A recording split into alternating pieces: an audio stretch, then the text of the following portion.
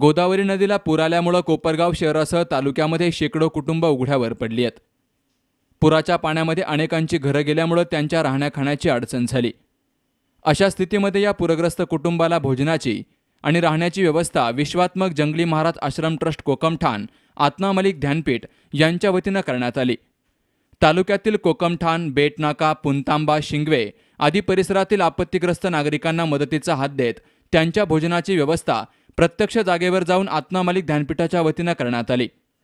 आश्रमाचे संत परमानंद महाराज संत निजानंद महाराज संत विवेकानंद महाराज यांच्या मार्गदर्शनाखाली ध्यानपीठाचे विश्वस्त आणि भोजनालयाचे प्रमुख प्रकाश भट यांनी विशेष परिश्रम घेऊन पूरग्रस्तांच्या मदतीसाठी पुढाकार घेतलाय.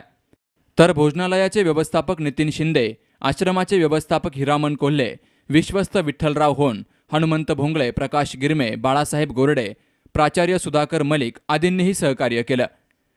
दरम्यान पूरग्रस्त नागरिकांना आत्मा मलिक ध्यानपीठ कोकमठाण या ठिकाणी निवासाची आणि भोजनाची व्यवस्था करण्यात आली असून गरजूंनी याचा लाभ घ्यावा असं आवाहन व्यवस्थापक हिरामन कोल्हे यांनी केलंय. तर पुराच्या पाण्यामुळे ज्यांची भोजनाची व्यवस्था नसेल त्या नागरिकांनी आत्मा मलिक ध्यानपीठाशी त्वरित संपर्क साधावा. आपत्तीग्रस्तांना त्यांच्या जागेवर भोजनाची व्यवस्था करण्यात येईल. तरी आपत्तीग्रस्तांनी त्र्याण्णव बहात्तर पंच्याण्णव दहा चौऱ्याण्णव या नंबरवरती संपर्क साधून मदत घ्यावी असं आवाहन करण्यात आलंय. संकटात सापडलेल्या आपत्तीग्रस्तांना मदत करण्यासाठी आत्मा मालिक ज्ञानपीठाच्या वतीनं पुढाकार घेण्यात आल्यामुळं पूरग्रस्तांना दिलासा मिळालाय. वृत्तसंकलन विभाग सी न्यूज मराठी कोपरगाव.